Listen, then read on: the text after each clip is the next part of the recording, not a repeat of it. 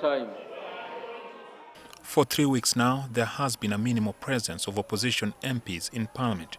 In this time, they have walked out of Parliament four times in protest at what they call government's refusal to offer an acceptable response on human rights abuses. The leader of opposition in Parliament, Mathias Impuga, made a brief return to the House on Tuesday as MPs paid tribute to former Minister Henry Chamber. Honourable Speaker, um, just to assure the House that we came for this sitting and retreat back in our bunker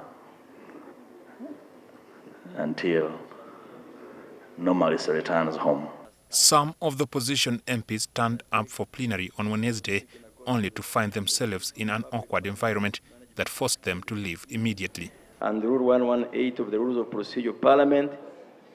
One of the incidents that triggered their protest is the arrest of National Unity Platform President Robert Kyagulanyi at Entebbe Airport on 5th October and the disruption of the Independence Day prayers. Demands for a response has cascaded back to a call for a coherent answer on the whereabouts of missing National Unity Platform supporters.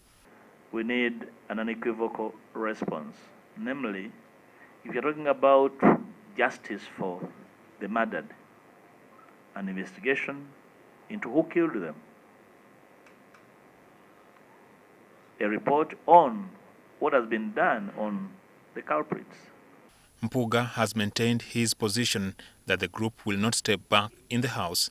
That position has not changed until we have received a coherent and sequential response.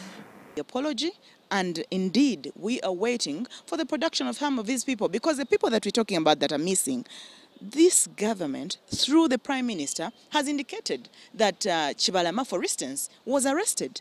If indeed he was arrested, where is he? Because before we even talk about other people, we can talk about the Chibalama. Deputy Speaker of Parliament Thomas Tayewa told Parliament that efforts have been deployed to end the impasse as he is uncomfortable with having a one-sided house. We are facilitating uh, dialogue between the two sides so that our colleagues can come back to the house. Uh, to me, my feeling is that we are incomplete when we are all not here in terms of both sides. Business, well, business can go on and all that, but I still register my discomfort with that.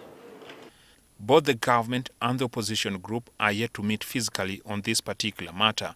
Last year, similar meetings over missing National Unity Platform supporters were held, but they ended in disagreement.